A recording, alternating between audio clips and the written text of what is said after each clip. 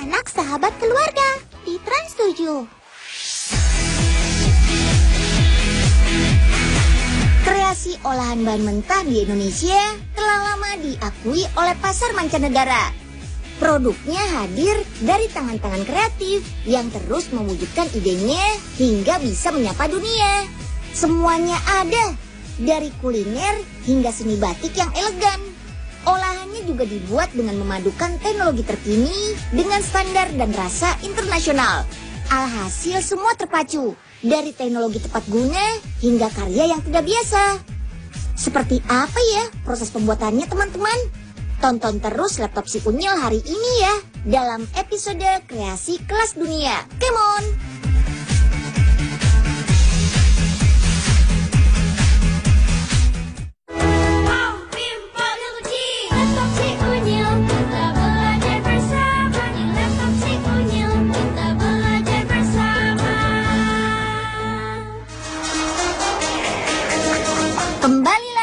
Kota Bitung nih. Ternyata kota ini jadi World Tuna Center loh, alias pusat tuna dunia. Wow, keren. Harganya dari nelayan antara 30 sampai 60 ribu rupiah per kilogram. Tapi kalau sudah dijual ke Jepang, satu ekor ikan tuna dengan berat 200 kilogram harganya mencapai miliaran rupiah. Wow, berkali-kali lipat harganya. Wah, ternyata nggak cuma baju yang disikat. Ikan tuna ini juga harus kita sikat loh, biar bersih dan bebas dari debu. Nah, kalau sudah bersih, langsung simpan dalam wadah berisi es. Suhu dingin es ini bisa mencegah ikan cepat membusuk loh. Ikan pun jadi segar terus deh. Oke, kalau sudah waktunya diolah, ambil ikan dalam tempat penyimpanan ini. Yuk, kita potong ikan tunanya. Pertama, pisahkan dulu bagian kepala seperti ini. Baru deh, sekarang potong bagian tubuhnya jadi empat bagian.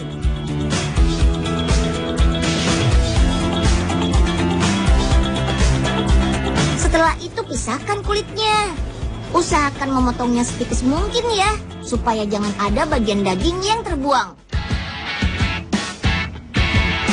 Nah, pengolahan ikan ini sangat menjaga kebersihan. Semua alas untuk memotong ikan hanya boleh dipakai satu kali. Setelah itu harus langsung kita cuci.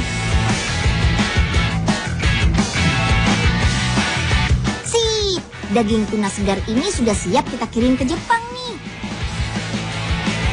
Nah, untuk olahan yang ke Amerika, pabrik ini punya bentuk olahan tuna yang berbeda. Penasaran tuh? Check it out. Potongan tuna segar akan masuk ke dalam lemari pendingin. Suhunya sampai minus 65 derajat Celcius loh. Brrr.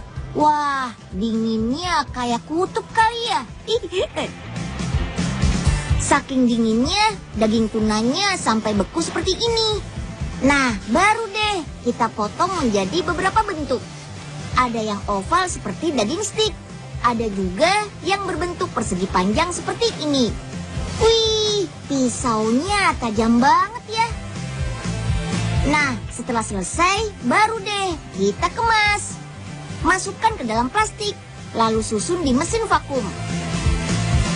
Mesin ini akan menghisap udara dari dalam plastik. Daging tuna pun bisa awet lebih lama.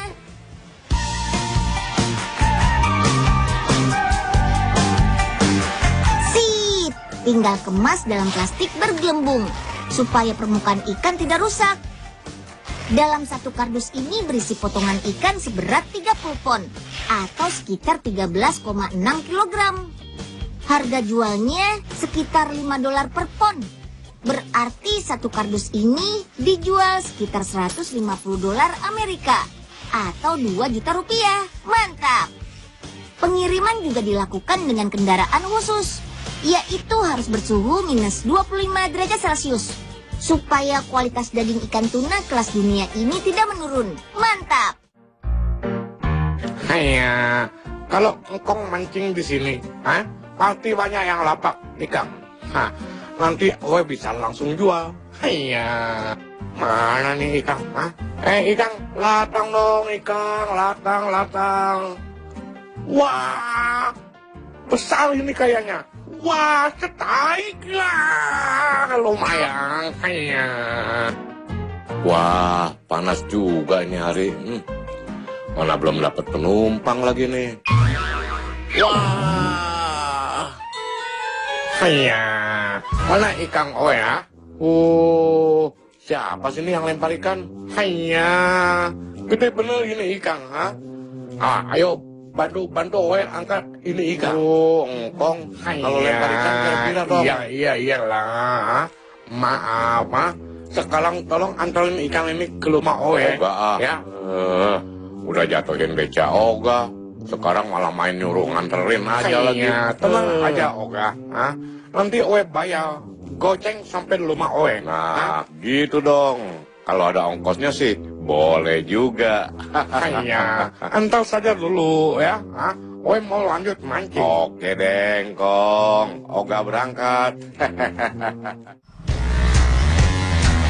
Ayo, cetak tanah liatnya. Hihihi.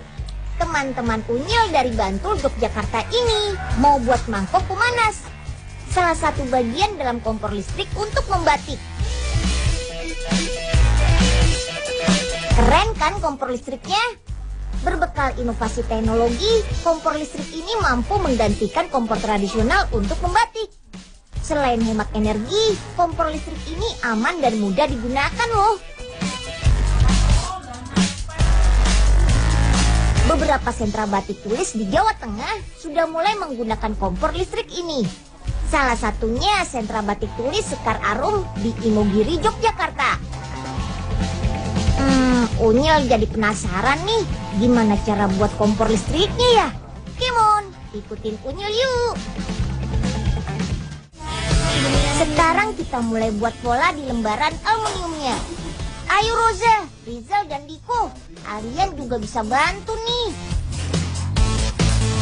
Ada bentuk persegi panjang dan juga lingkaran. Bahan aluminium dipilih karena awet, tidak berkarat, dan juga ringan. Karena ringan, jadi kompor listrik ini portable, mudah dibawa ke mana-mana.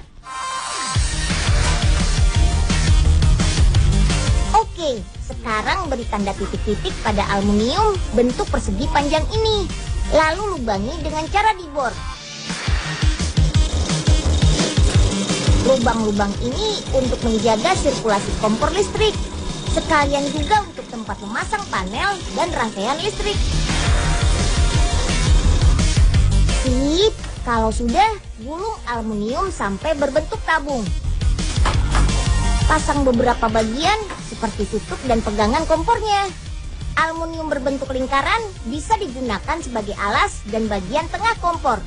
Oke, sip deh. Nah, seperti ini nih hasilnya setelah diberi cat. Wah, jadi bagus ya. Sekarang teman-teman Unyil bisa bantu lagi nih. Ayo, kita pasang stiker di bagian panel. Ini merupakan tempat panel lampu dan listrik pada kompor. Lubangi kembali menggunakan alat bor ini. Bagian luar kompor listrik sudah jadi nih. Sekarang lanjut ke tahap berikutnya. Let's go! Yap, kompor listrik ini memang butuh mangkuk pemanas terbuat dari tanah liat. Ayo, bantu Mas Widodo cetak tanah liatnya ya.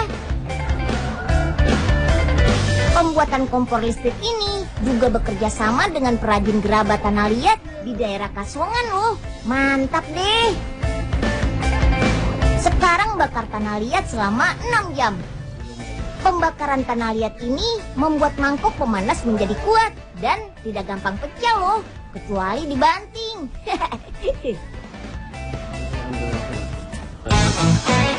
Setelah 6 jam keluarkan mangkok pemanasnya. Lalu bisa kita cat seperti ini.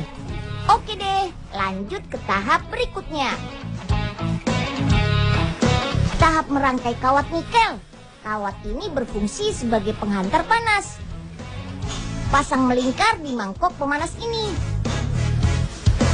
Pasang mangkok pemanas di bagian atas kompor. Lalu pasang kabel saklarnya.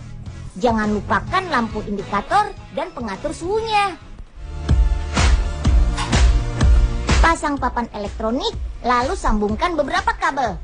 Oh iya, dalam sebulan Mas Nova dan teman-teman bisa merakit 100 kompor listrik loh. Sekarang kita bisa kemas kompor listriknya. Dalam satu dus ini, selain kompor, ada juga wajan untuk memanaskan malam batik. Gak ketinggalan canting batiknya juga nih. Harga satu kompor listrik ini antara 290.000 sampai 450.000 rupiah. Nah, sekarang Roza, Rizal, dan Diko mau ikut membatik. Ayo Mas Nova, nyalakan kompor listriknya. Widih, mudah ya penggunaannya. Oh iya, selain di Imogiri, kompor listrik ini juga sudah digunakan di sentra batik tulis Pekalongan loh. Bahkan beberapa sekolah menggunakan kompor listrik ini untuk mengajarkan murid-muridnya membatik. Keren deh. Wih, cantik-cantik kan sepatunya.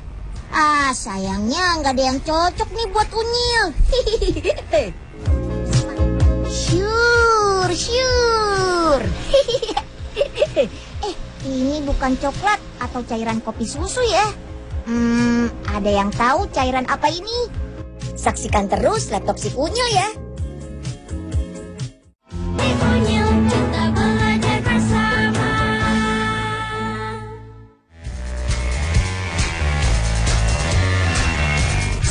Ini asli buatan tangan alias handmade loh. Uniknya, di sini juga ada sepatu edisi couple anak dan ibu. Pembuatannya berada di daerah Sidoarjo, Jawa Timur. Usaha kreatif milik Ibu Nikma Bashar ini punya merek sepatu yang sama dengan nama sang pembuatnya. Kemon, ikut Unil yuk ke lokasi pembuatannya. Proses pertama yaitu mempola lembaran busa spon ini. Caranya gampang banget. Cukup ikuti garis pola dan tandai memakai alat tulis. Kecil, Eca saja bisa tuh.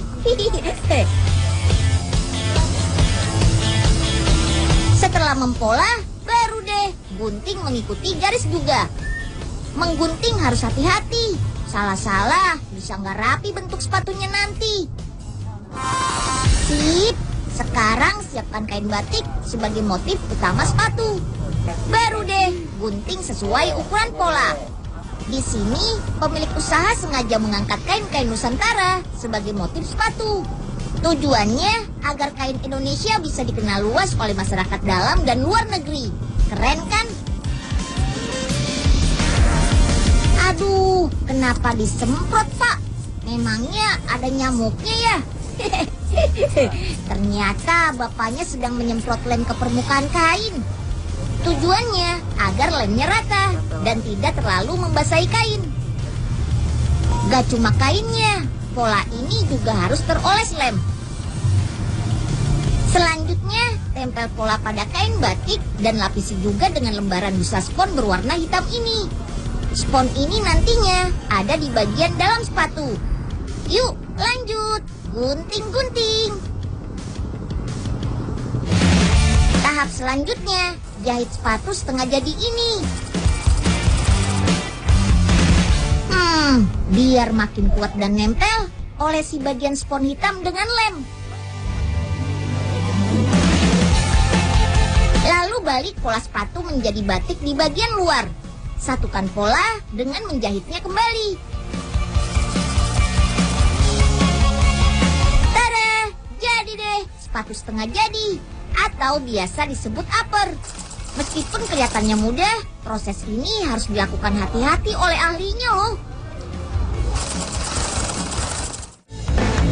Nah, agar bentuk sepatunya sempurna, kita buat juga insole atau alas sepatunya agar nyaman saat dipakai.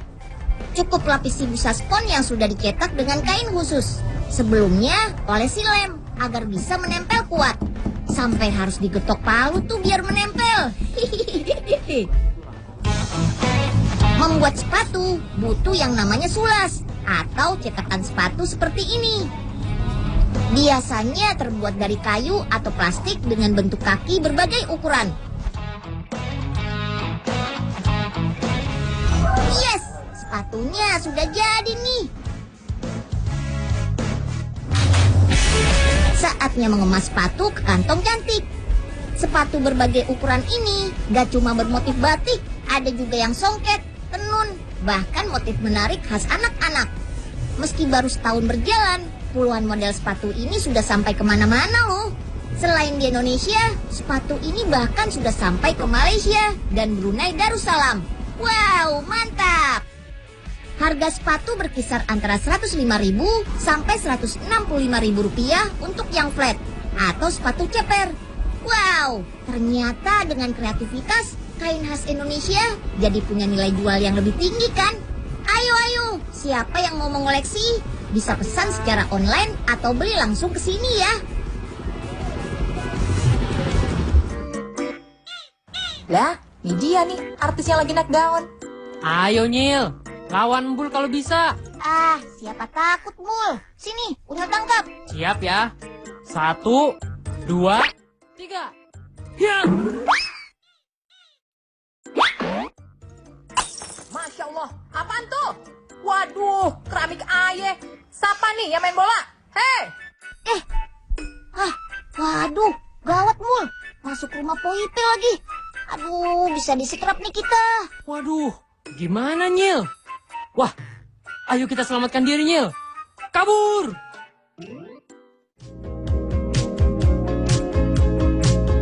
Ini adalah sisa cairan tanah liat yang tidak mengering pada proses pembuatan keramik hias. Wih, banyak banget kan? Wah, bagaimana cara membuatnya ya? Apa sih bedanya dengan pembuatan keramik lantai? Nah, daripada penasaran, ayo kunyil aja kalian ke pabriknya yang berada di daerah Surabaya, Jawa Timur. Come on! Proses pertama kali yaitu mendesain untuk tentukan model yang akan diproduksi. Nah, kali ini kita buat guci keramik hias ya. Dari hasil desain selanjutnya, buat satu model yang dibentuk pada mesin bubut ini. Hmm, meski terlihat mudah, keahlian sangat diperlukan loh. Mulai dari tidak berbentuk sampai akhirnya berwujud guci, butuh waktu selama 2 jam. Nah, berikutnya kita buat molding nih, alias cetakan. Cetakan ini terbuat dari bahan gypsum. Buat adonan yang terdiri dari campuran air dan bubuk gypsum. Aduk-aduk, ikat dua bagian cast molding. Jangan lupa olesi cairan khusus agar tidak menempel antara molding dengan cast molding nantinya. Sip deh, yuk tuang adonan gypsum ke dalamnya. Butuh waktu 5 menit untuk mengeringkan molding. Bahan-bahan membuat keramik hias tidak jauh berbeda dengan keramik lantai. Ada tanah liat, pasir kuarsa, dan kaulin. Bahan-bahan ini diperoleh dari beberapa daerah di Indonesia. Lanjut, kita buat adonan tanah liat untuk membentuk keramik. Di dalam bowl mil kapasitas 2 ton adonan ini, campur air dan bahan-bahan. Kemudian aduk selama 8 jam. Wah, lama juga ya. Sip, waktunya casting. Yaitu pengisian adonan tanah liat ke dalam cetakan. Nah, supaya menghemat waktu, gunakan selang dalam mengisinya. Tunggu sampai satu setengah jam sampai bagian dalam cetakan setengah kering. Agar bentuk keramik tidak terlalu tebal, yuk buang bagian larutan adonan yang tidak mengering. Cur! Tunggu lagi beberapa saat sampai sisa larutan di dalam mengering. Waktunya membuka cetakan. Lakukan dengan hati-hati ya.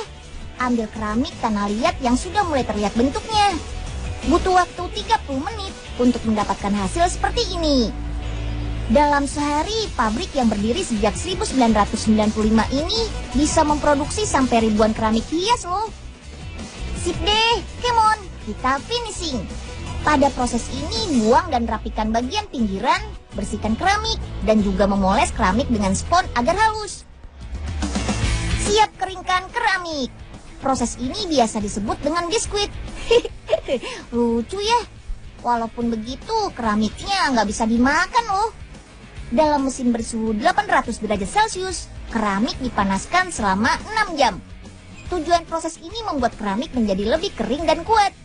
Namanya saja keramik hias. Nggak indah kalau tanpa warna. Nah, tugasnya ibu-ibu ini nih, menambahkan beragam warna pada keramik hias. Wih, jadi semakin cantik kan? Untuk menambah kesan mewah dan indah pada keramik, biasanya akan melalui satu proses yang namanya glazing. Cukup celup keramik ke cairan glazier yang mengandung tepung kaca. Lanjut, bakar keramik dalam mesin pembakaran. Selama kurang lebih 12 jam, bakar keramik pada suhu 1200 derajat Celcius. Wow, bisa langsung meleleh tuh kalau unyil masuk sana. Hi. Nah, pada saat pembakaran lah, cairan glasir akan meleleh dan berubah menjadi kilap pada permukaan keramik.